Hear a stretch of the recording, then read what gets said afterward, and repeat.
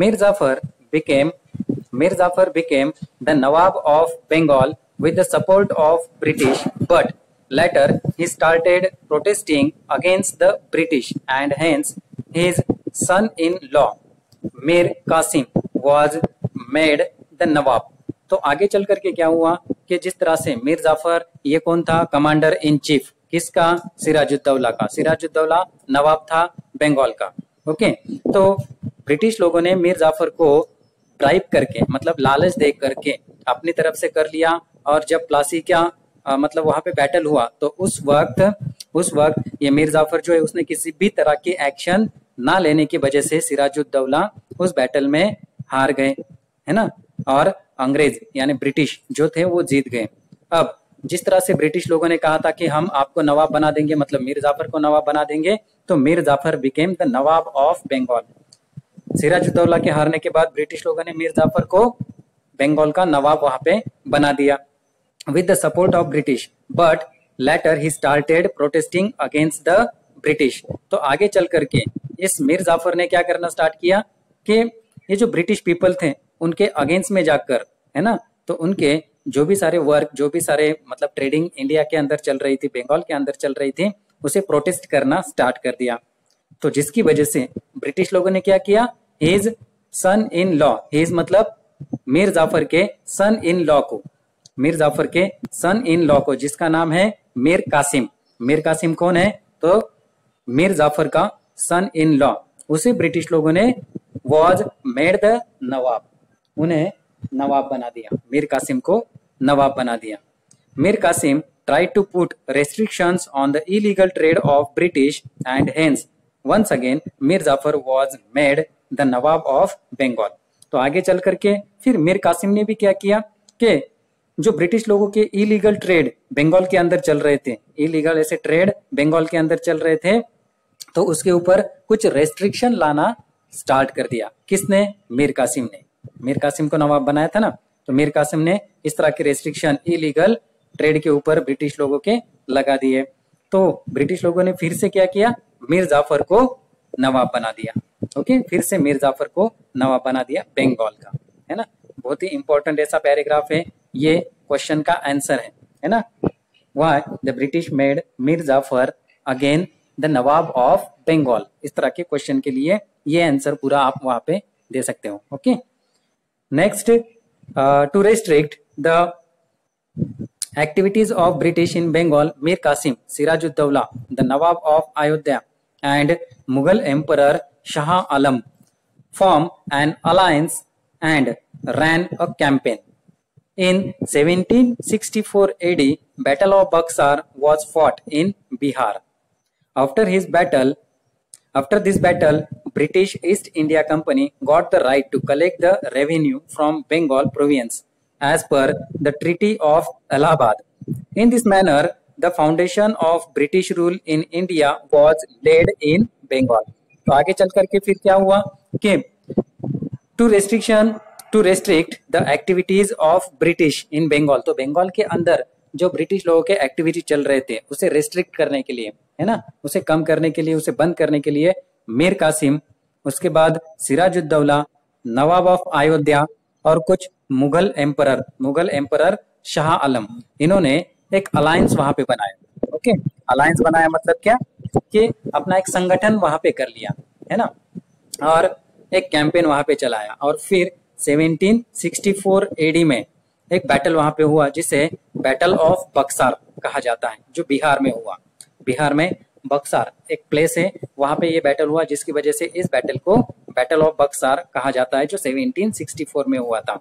इसके बीच में British and देखो यहाँ पे, British and Mir Qasim Sirajuddaula nawab of Ayodhya and Mughal emperor Shah Alam, इनके बीच में ये बैटल हुआ था।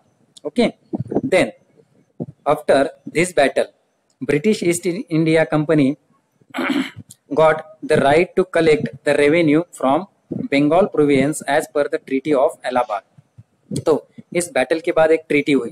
ओके तो वो ट्रीटी हुई इलाहाबाद में और इलाहाबाद की इस ट्रीटी के अनुसार क्या हुआ कि जो ब्रिटिश पीपल है, वो अब बंगाल का पूरा रेवेन्यू कलेक्शन वहाँ पे करने लग गए। रेवेन्यू कलेक्शन मतलब जो भी टैक्सेस वगैरह है, उसका कलेक्शन ब्रिटिश पीपल करने लग गए। मतलब बंगाल के अंदर रहने वाले जो पीपल हैं, उनके ऊपर जो लगाए गए टैक्सेस हैं, है ना? तो वो सारे टैक्सेस का कलेक्शन अब ब्रिटिश करने लग गए बंगाल के अंदर, इलाहाबाद ट्रीटी की वजह से। In this manner the foundation of British rule in India was laid in Bengal तो इसी तरह से क्या हुआ कि ब्रिटिश पीपल जो है, उनका पूरी तरह से फाउंडेशन बंगाल के अंदर स्थापित हो गया। ओके ना? पूरी तरह से बंगाल को ब्रिटिश लोगों ने कैप्चर कर लिया। मतलब रेवेन्यू कलेक्शन भी करने लग गए ट्रेड भी करने लग गए, सब पूरा बंगाल उनके कंट्रोल में आ गया। Okay next part is there British British Mysore struggle okay? तब ब्रिटिश लोगों का मैसूर में किस तरह से स्ट्रगल वहाँ पे हुआ, जिसके बारे में जानकारी लेते हैं। Hyder Ali from Mysore state rebel and to control of Mysore तो मैसूर के अंदर किसका कंट्रोल था? हैदर अली का, है ना? मैसूर के अंदर मैसूर के अंदर एक कंट्रोल था हैदर अली का। Then after the death of Hyder Ali his son Tipu Sultan became the rural ruler of Mysore तो हैदर अली के डेथ के बाद उनका बेटा, हैदर अली का बेटा, जिसका नाम है टीपू सुल्तान, वो रूरल बना, है ना? मतलब वो राजा बन गया कहा का? मैसूर का।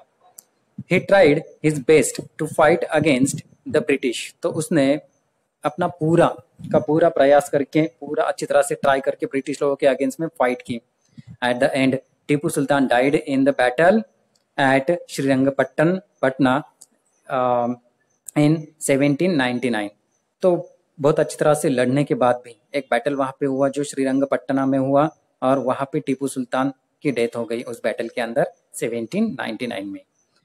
In this manner the British to control of the Mysore territory और इस तरह से ब्रिटिश लोगों ने मैसूर टेरिटरी यानी मैसूर प्रोविंस यानी मैसूर का जो पार्ट है, जो रीजन है, उसके ऊपर भी कंट्रोल कर लिया। मैसूर को भी कैप्चर कर लिया बंगाल को किया, मैसूर को किया। आगे चल के ब्रिटिश कंट्रोल ओवर सिंध जो सिंध प्रोविज़न था इंडिया के अंदर, उसे भी कंट्रोल में किस तरह से किया? ब्रिटिश ने। ये देखते हैं।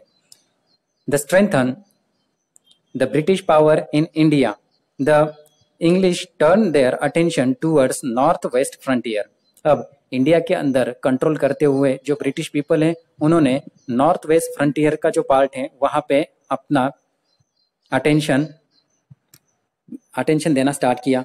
They fear that Russia might attack India through Afghanistan and hence the English started establishing their influence over Afghanistan तो आगे चल करके क्या हुआ कि जो ब्रिटिश पीपल थे, उन्हें एक डर था कि रशिया शायद से इंडिया के अंदर अटैक कर सकता है। रशिया इंडिया के अंदर अटैक कर सकता है, लेकिन कैसे करेगा?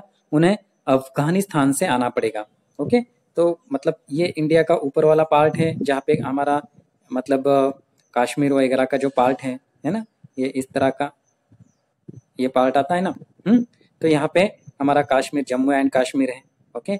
यहाँ पे पंजाब, हरियाणा इस तरह के स्टेट्स हैं, और उसके बाद इस बॉर्डर से लग करके यहाँ पे पाकिस्तान और यहाँ से अफ़गानिस्तान है है ना?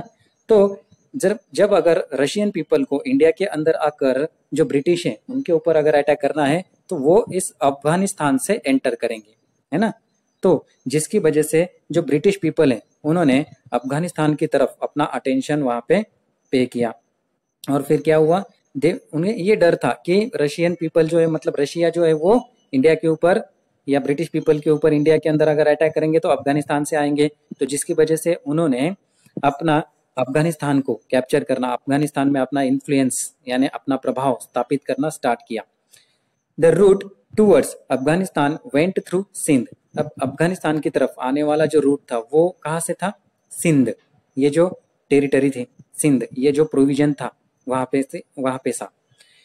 The British understood the importance of Sindh and hence captured it in 1843 तो सिंध का मतलब सिंध प्रोविज़न का ये इम्पोर्टेंट जान करके ब्रिटिश लोगों ने क्या किया?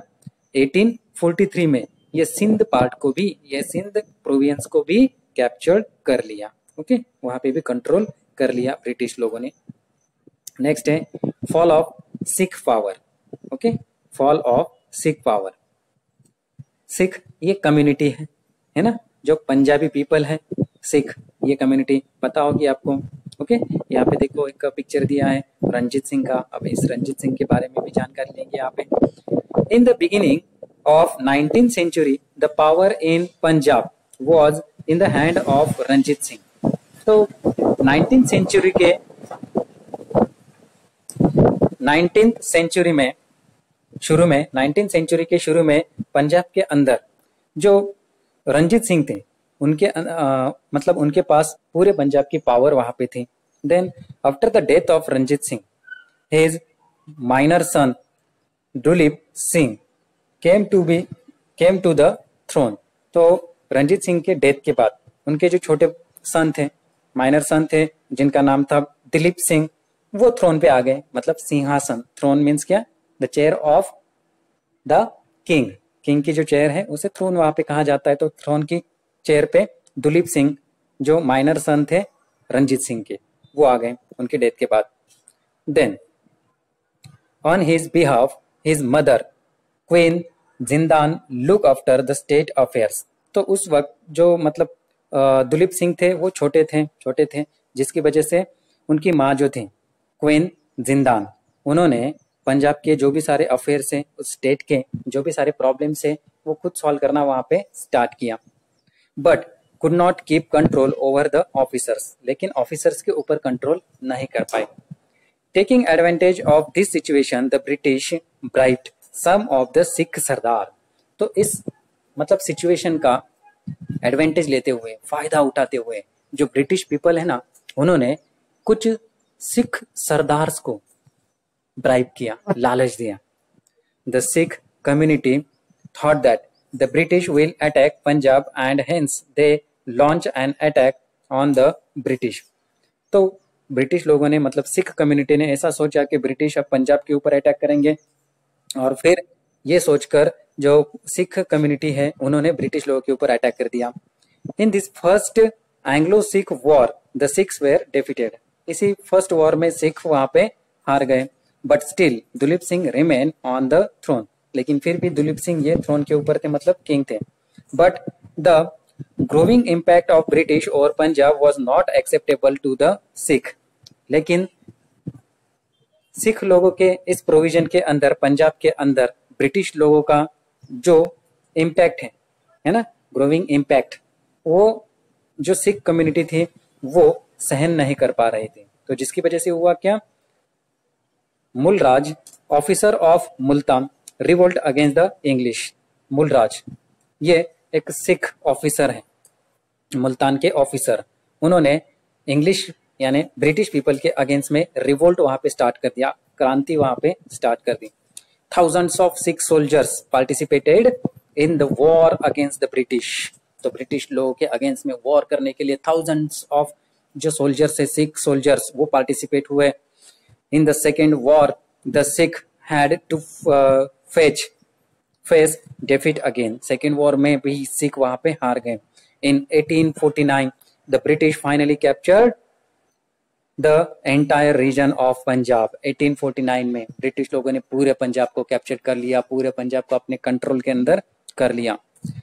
The Marathas were important the Marathas were important strong rural, rulers in India. तो इंडिया के अंदर मराठा पीपल जो थे वो बहुत ही स्ट्रॉन्ग ऐसे इंपॉर्टेंट रूलर थे how did the British strengthen their foundation of rule in India by defeating the Maratha will be studied in the next chapter तो किस तरह से ब्रिटिश लोगों ने मराठास के अगेंस्ट में फाइट की और मराठास को हराने की कोशिश की ये हम नेक्स्ट चैप्टर में जानने वाले हैं okay okay? This way, we have completed this chapter. I hope that you have understood all the parts, all the points of this chapter.